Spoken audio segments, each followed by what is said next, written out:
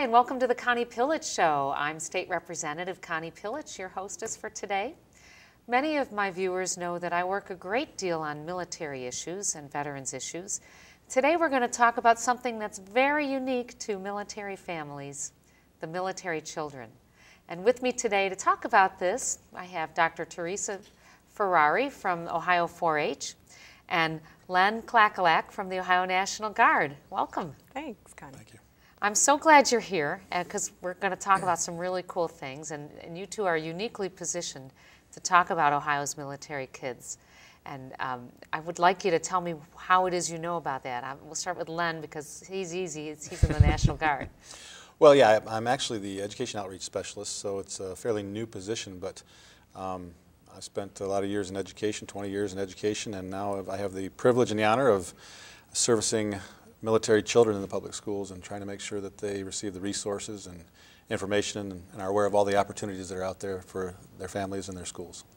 And Teresa, you're with 4-H. Right. What are you doing with military children? Well, it's something that we've actually been involved with for about the past 10 years, and an uh, initiative through Operation Military Kids, which is a national program that we became involved in as a way to reach out to the kids uh, throughout Ohio.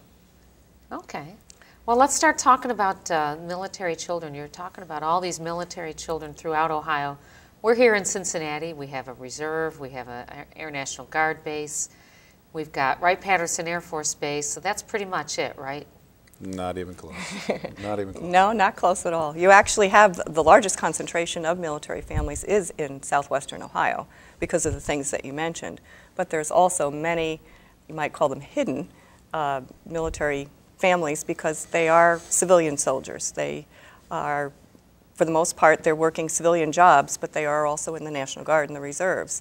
And well, how many kids are we talking about? How many military kids are we talking well, we've about? We've got nearly 33,000 military kids in Ohio, and that's one of the larger concentrations. We're not a huge military state like Texas or California or Virginia, but our National Guard uh, is very large, uh, I believe the fifth largest in the country, so we have quite a few military kids. And are these children mostly located then near Wright Pat and in Cincinnati by the bases we talked about? You'd be surprised. Uh, the truth of the matter is there are military children and families in every single county in Ohio. Um, we, I use uh, an example of Knox County. There is absolutely no active base there. There's no armory, and yet there are uh, over 200 military children in that county. And that 33,000 number is, uh, those are numbers that are specifically dependents of our service members in, in uniform. That doesn't count uh, brothers, sisters, extended family, so on. So that number is actually even bigger than 33,000 if we get right down to it. So we have military children in every county.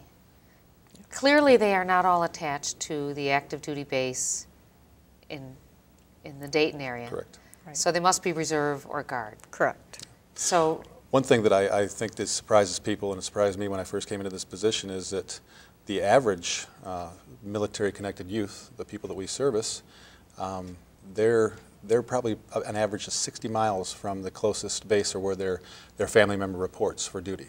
So they are dispersed in a lot of rural areas.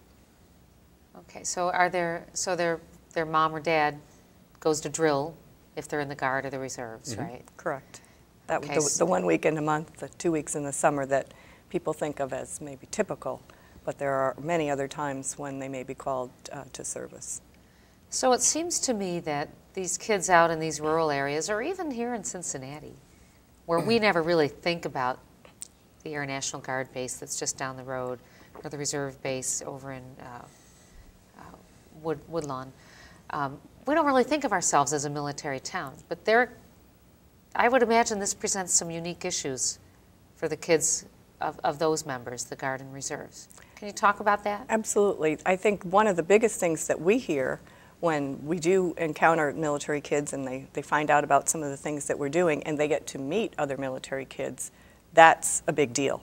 Because they, even though they may live, as you said, in Cincinnati, in a, in a city, they don't know any other military kids, or maybe just a few.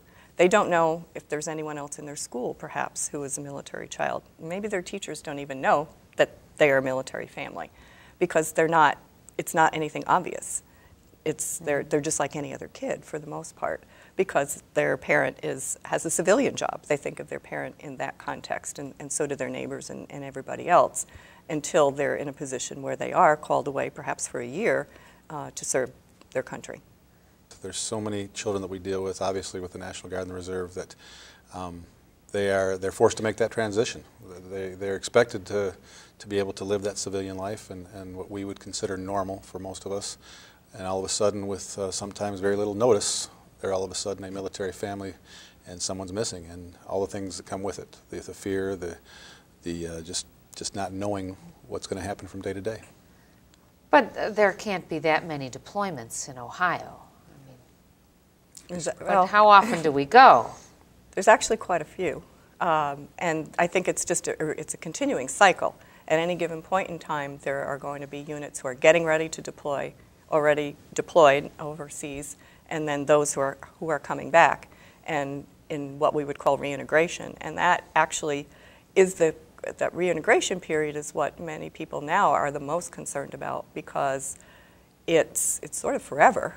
Um, there may be some things that pop up initially, but even, even now they're thinking that even nine months later, there may be things that manifest themselves in terms of um, you know, different, different issues that the family may be dealing with as they try to coalesce back into that, into that family and re, um, just reassert those dynamics that may have been there before or th- things change. And I think Sure. that's one of the hardest things is to, that there's some kind of change and transition that you're dealing with. You have that with an active duty family if they're moving from location to location. But for the Garden Reserve, that's, it's change, but it's a different sort. It's having to deal with um, new things, new ways of, new configurations in your family. Some children may have to move because, um, because, uh, or have a, a family member family income? well, or a family member uh, may move, maybe it's a grandparent that comes to live with them because if the parent's deployed, what are they going to do? Um, or a, a two-parent family can become a single-parent family. And if you're a single-parent family, then what are your arrangements for caring for, for your children during that time? If you're gone for a whole year. Well, I can, I'm, I'm imagining this as a parent. You know, the, the few times that my husband has uh, traveled for business, you know, the first day's hard, but then we get into a new routine. Then he comes back, and everything's changed. Now, this is a simple, undangerous uh, business trip, but when your spouse or your mom or dad has gone to the war zone, that's got to be frightening for kids. What kind of things do they go through, and, and what do we need to be on the lookout for? Well, one of the things that we're really focusing on, um, and I know we'll talk more about the Month of the Military Child and Purple Up, but we, we really want educators to be aware uh, of these, uh, these deployments and these, these opportunities, I guess. Um, what would be maybe considered to be a, an above average student, uh, someone who has no, never had problems with attendance or, or grades or behaviors, all of a sudden drop off the edge and, and they can't figure out why. What happened all of a sudden? Well, they're worried if, the, if mom or dad is coming home again. Uh, they don't know. They, they, sometimes they don't have opportunity to talk to them regularly. They have no idea what's, what's going on. Um, it's, it's tough to deal with, especially depending on the age and anything else that's going on in the family, uh, like any other normal child. Right, and I think it does depend on the age of the child too, what they understand about what's going on, and what their um, then what their role becomes in the family. Older children typically have to take on more responsibilities, and that might not seem like a, a really difficult thing, but it is if, if you're a teenager. And they may have to care for younger siblings, pick up more chores around the house. They may not do activities that they're used to doing because of some of the, the changes in, in the dynamics of the family. And they may not feel like doing the things that they've done before. Maybe they always did baseball with their dad, but their dad's not there. So they, they sort of lose interest maybe in some of the things that were things that they liked to do. Uh, they, they worry about the parent at home because they see the stress that that parent is under and trying to manage everything else. And And these parents don't have the support structure that a military installation has. Exactly. They're very distant, perhaps, from those support services. So those services have to be provided by the community. And that's part of what we try to do, is to try to find those community partners who can, can be part of our network of supporting these military kids. Well, so let's talk about Operation Military Kids, which is the, the exciting program that I'm anxious for you to talk about today. It's a national program. Right, it is a national Teresa. program, and Ohio has been involved pretty much since the, the beginning, since 2005, so we're actually going into our ninth year, and that's uh, So relatively new. relatively new, but it seems like a, a long time for us, because I guess we weren't sure how long we'd be doing this. Um, It really was in response to the situations that we were just talking about with the Garden Reserve and Well, and the two wars. Right, and the continuing of those, I guess no one really knew how long that would be. And the, the phrase that we, was used early on was suddenly military.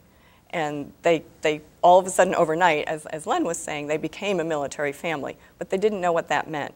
9/11 really changed the whole uh, situation for the Garden Reserve. They had typically not been deployed in overseas types of situations like they are in, in the current uh, conflicts. So that really changed the frequency of deployments, the length of deployments. Okay, and so, but let's talk about yeah. what Operation Military Kids Right. does. I, I know that there's all these struggles, um, but 4-H is very involved in running this operation. But you got to tell me what this Well, operation the, is. the reason for that is because we are, 4-H is a, is a national program too, and so we were located close to home, if you will, for where the military kids are. And so the idea was that we would develop educational programs and different um, youth development experiences that would support young people during these um, tough times of deployment and help to educate the public about the situation because many people were unaware that military kids existed in their communities and what their needs were. Well, sure. And, you know, we have a rich military uh, presence uh, in the Guard and Reserve here in Cincinnati. Mm-hmm. And most people probably don't know about this program. So, what kind of programs do they offer? And does the Guard get involved? Do you work in partnership, or how does it work? I heard uh, lately uh, one of our uh, coworkers, Captain France, describe it the best way I've heard described, and it's uh, he used the example of Operation Military Kids in the Ohio National Guard as the twist on the top of a bread bag. You don't know which one's which until you get to the very end. We work very well together. Uh, we are one big team. We, we do everything together. We have a great relationship. Um, I think it's fair to say that uh, we certainly wouldn't have near the impact that we have if we tried to do it individually. So, and we do great things. Joining forces. Um, one of the things that we started with, and it goes back to the Ohio 4-H connection, is Ohio 4-H is very big into the world of camping. We see that it's a great way to uh, have a positive youth development experience. And so when we sort of married the two, it's like, okay, we know how to do camps, and you have military kids. Let's see if we can do camps for military kids. And we're still doing them nine years later.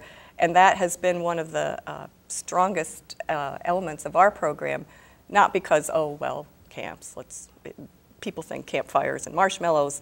It's really a wonderful way to have an impact on young people's lives. Um, and we've seen these kids grow up literally in our camps. The campers, when they get too old to be a camper, are, move into the role of being a camp counselor, which is a great leadership experience. So, what are the ages that you typically cater to at, at, a, at a military kids camp? Well, at a residential camp, we're looking at 9 um, to 15 in our, some of our programs. Some of, uh, we've now gone on to having camps for teens that would go all the way up to 18. Those are more specialized experiences just for teens. So, there's more than one camp. Oh, yeah. we used to talk about more it every in year. singular, singular. I would say we probably have about 15 different experiences this year In Ohio, in Ohio alone. hmm all uh, summer, so you could go to a different one every summer. You pra- practically. Yeah. we, all right. we're Well, tell me about these busy. camps. This is Uh, fascinating. well, we actually have it at a one coming campsite? up um, at different campsites around the state. We try to disperse them again um, to kind of be sensitive to where the population is. Some for some of our younger kids, we have day experiences. We also incorporate parents into those experiences, so we can be doing a workshop with parents and having uh, kids having an experience together. I think the biggest thing that we find, both from the campers and the parents alike, is they tell us that the connections that they make with other military kids are the best thing that they get out of these experiences. So the situation of not knowing any other military kids totally goes away when you have a camp full of them. Uh, some kids don't realize that there really are other military kids till they're in a cabin with 10 others and say, wow, um, these other kids are like me. They're going through similar situations. And those, those connections maintain past the time of the camp, too. And that's So- really good for us to see. and where in Ohio are these camps? Literally everywhere. Um, we can say that, for instance, uh, we have a couple coming right up here in the Cincinnati area. We have uh, day camps, uh, overnights actually, at the Cincinnati Zoo coming up the 23rd and the 24th. They can sleep with the manatee, and the kids will, will do some programming there. We'll take the parents and do some programming with them for resiliency and, and uh, get them some information that hopefully will help them out with uh, upcoming deployments. Um, then in the afternoon and evening, they get to go to the zoo together and have some fun. Um, the Friday after that, the 29th, I'm a big hockey fan, and I have got some friends who play for the Cincinnati Cyclones, and we've got an opportunity for some families to come out to that uh, and uh, meet some of the players afterwards even. But uh, the, the, camps, we have them up, uh, our biggest one is Kelly's Island. I'll let Teresa talk about that. Yeah. That's her baby.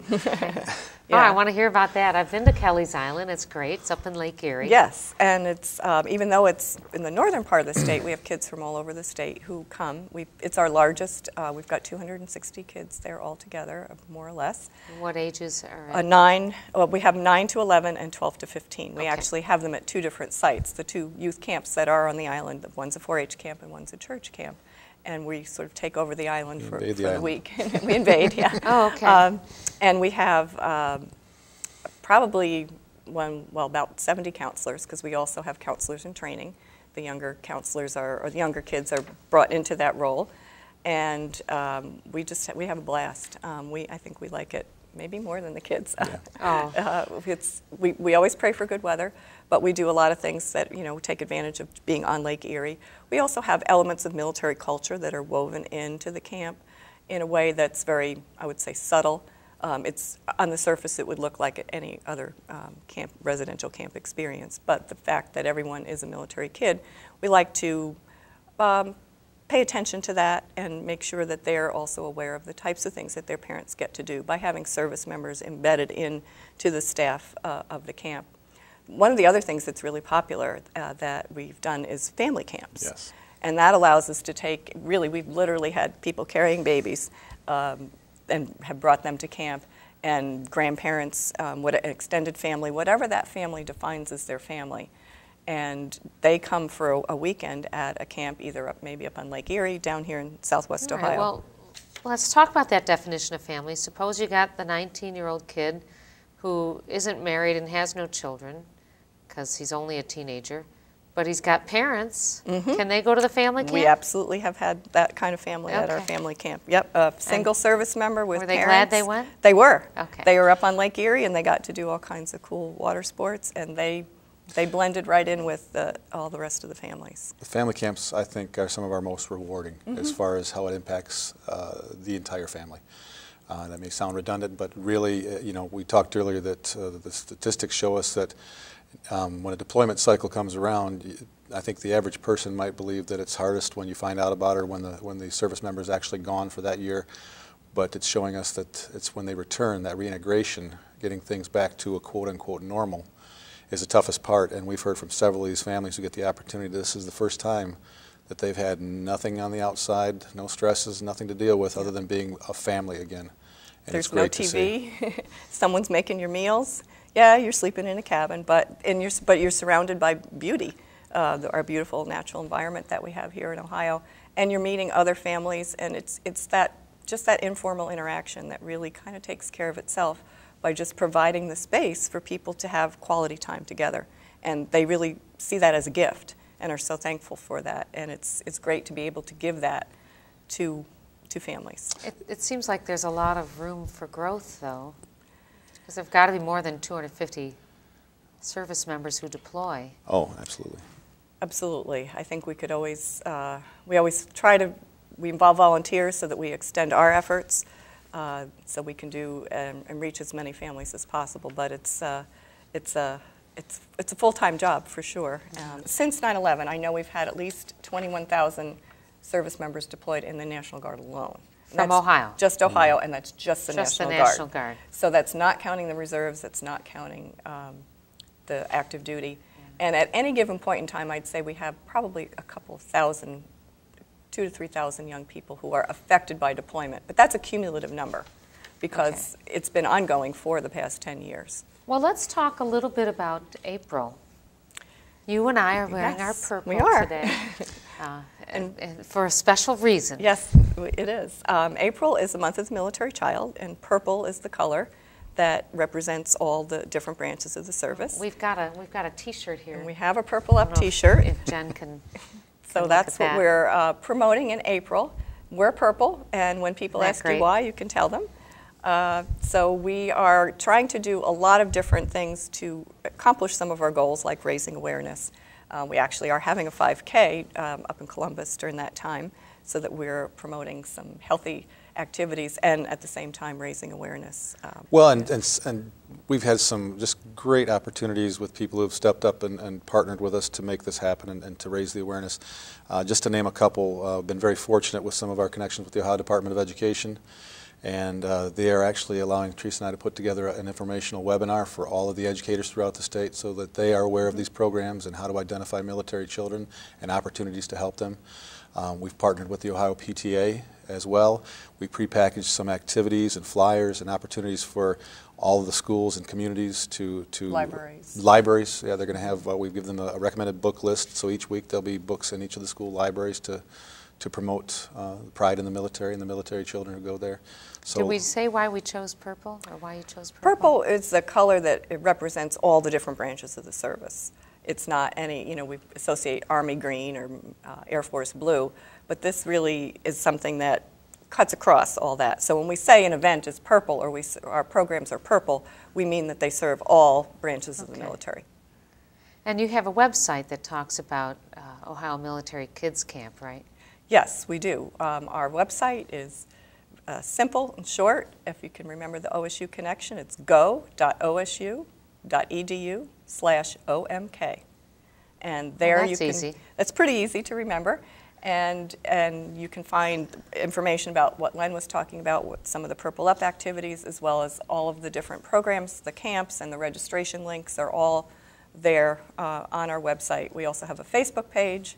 We have a Twitter, Twitter account. Facebook is Ohio Uh, Operation. Ohio Operation Military Kids, if you search on that, you'll find us. And we have regular posts about our activities and, and keep people up to date on resources that are available for military families. So wherever I am in Ohio, I can go to Facebook Mm-hmm.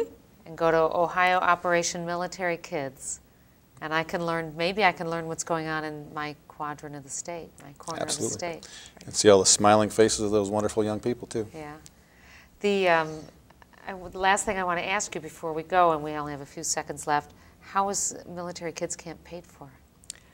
Lots of generous contributions. Um, I would be remiss if I didn't mention the USO of Central and Southern Ohio. They are a longstanding donor for us and a very um, giving us lots of money to make this possible. That's great. Well, thank you, uh, Teresa and Len, for being here and talking about military kids. Who knew they had such a great summer planned for them? I hope all the new military kids who are, who are, uh, whose parents are new to the to the Guard and Reserves, to make sure they sign up. Thanks, and we'll be right back for our legislative update.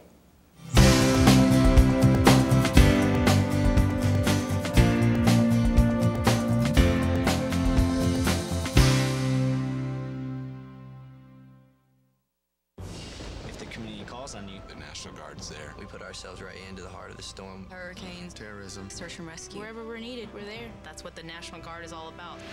I use the skills that I learned in the Guard every day. The National Guard is paying for my college and books. Everything is well covered. We became a team at Ground Zero. Bosnia. Afghanistan. Iraq. This is your brother, this is your sister. You gotta look out for each other. I would do it again. And I would do the mission. That's my duty. That's my responsibility. I'm proud to be in the National Guard. Visit 1 800 GoGuard.com. Welcome back, and thanks for staying tuned for my legislative update. Over a hundred bills have been introduced into the Ohio House of Representatives since we convened on January 7th. But one item that is causing a ruckus in Columbus stems from a bill not uh, from this term, but from the previous term. House Bill 1 passed in 2011. That's the bill that created Jobs Ohio, a public private partnership that took over the state's Department of Development.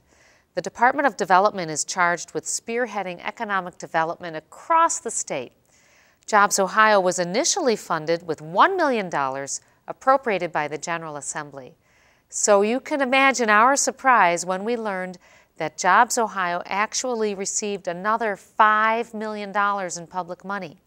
Legislators, including me, are demanding to know how Jobs Ohio got the extra money.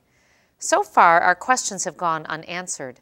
The state auditor is attempting to audit Jobs Ohio, but his efforts are being blocked by Governor Kasich and the Speaker of the House. While we don't have full information at this time, at least one head has rolled from this emerging scandal. The director of the Department of Development has left her job and a replacement has been appointed. He is the fourth to head the agency. The state budget is by far the most sweeping and far reaching bill that we will consider. It funds all of the state's operations for the next two years. While I cannot possibly whittle down the 4,200 page bill for my report today, here are some highlights. First, the budget increases state spending by $7 billion. This is the largest operating budget in Ohio history. Two, it expands our Medicaid program to include childless adults who earn up to 138% of the federal poverty level. This is an option provided to states under the Affordable Care Act. The federal government will cover 100% of the cost initially for this expansion.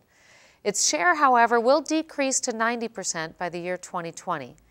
Expanding Medicaid provides about $400 million of revenue to our state budget.